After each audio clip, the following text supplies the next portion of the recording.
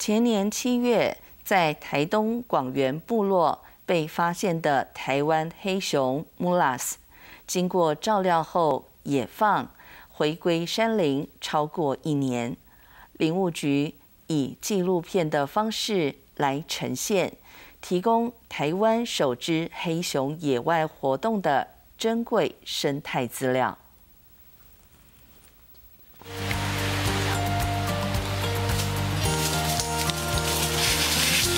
透过觅食训练，台湾黑熊 Mulas 慢慢学会觅食的技巧，加上没有遗忘攀爬的能力，它也慢慢恢复本性。前年七月，Mulas 在台东广元部落被发现，经过林务局、台东林管处等单位的努力，透过十个月的照料及训练，专家评估后认为可以野放，重新回归山林。